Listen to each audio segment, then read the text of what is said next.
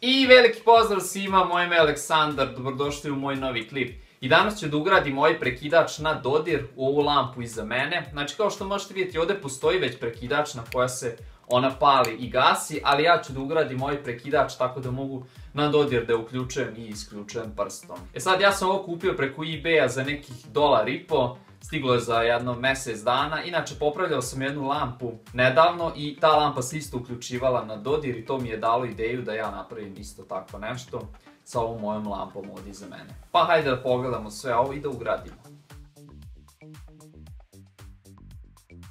Prvo ćemo da pogledamo sam natpis, znači touch switch nam se ovo u stvari zove ili ti na srpskom prekidač na dodir. Znači ovo kao što možete vidjeti je model koji uključuje i isključuje, znači otvara i zatvara strujni krug, znači nije model sa dimerom u sebi, pošto ovo će biti ugrađeno na LED cijelicu, a znamo da LED cijelica ne može da radi preko dimera, do 150 W snage i to je to u suštini. E sad što se provodnika tiče, znači imamo ukupno 5 provodnika, Ovaj žuti provodnik nam uključuje, znači njega pipnemo prstom i uključit će se, on ide na masu lampe. Zatim imamo dva nulta provodnika i fazni provodnik i ovaj fazni provodnik koji vodi na sjelično grlo. I sada ćemo da povežemo da vidimo prvo da li radi i tek onda u lampu. U ovom slučaju su to plava i jedna od ove dve crne.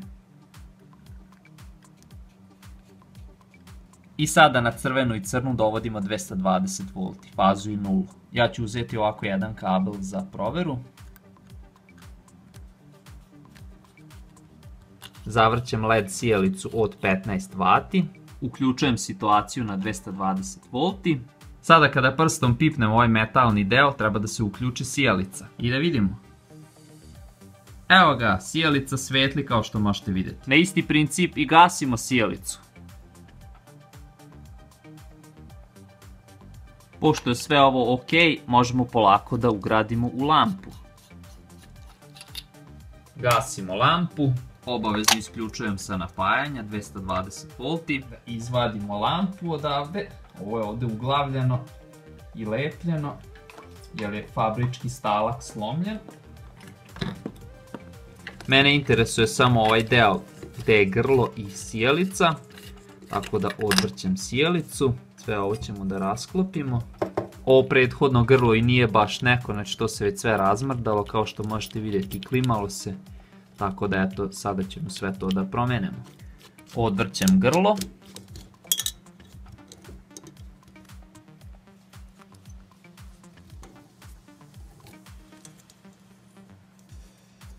Staro grlo izvađeno i sada ćemo da vidimo kako ćemo novo grlo da ubacimo kao i ovaj prekidač koji će biti ispod grla unutar lampe. E sad kako bi meni bilo zgodnije da priđem ovoj situaciji, ja ću odvrnuti ova dva šrafa ovdje.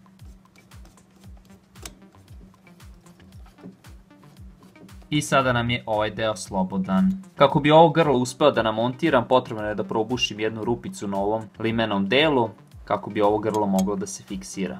Našao sam odgovarajući šaf kojim ću pričvrstiti grlo za metalni deo. Odmeravam gdje će grlo da dođe, tako da ostane dovoljno mesta za prekidač.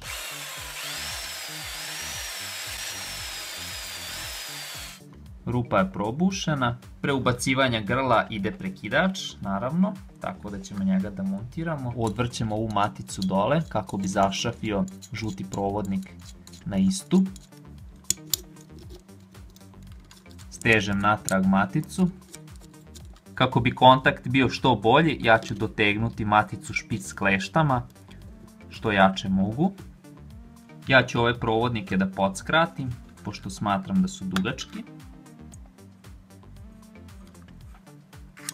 Za ovo će mi trebati jedna redna stezaljka, tako da na glavni dovodni provodnik nabacujem rednu stezaljku. Na rednu stezaljku spajamo crveni i crni provodnik, znači N i L, ne smemo pobrkati ovdje nikako.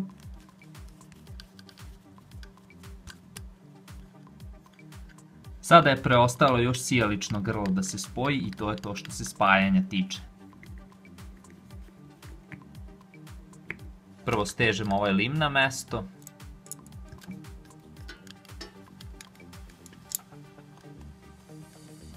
Sada još preostaje sve ovo da se spakuje polako ovdje unutra. Tako da polako ćemo da idemo ka tome. Mora sve da stane unutra. Dobro sam ga odmerio. Stežem grlo za kućište lampe. I to je to, kompletna situacija je završena. Sada da probamo. Zavrćem sjelicu. Uključujem na 220 V. Trepnulo je. I da vidimo kako radi. Evo ga. Bilo koji deo lampe da pipnem, svetlo će da radi. Isto tako i ugasi. I tako da to je to, vidjeli ste sve fino radi, sada ćemo da montiramo sve na svoje mesto. Bez ove nalepnice ništa ne bi imalo smisla.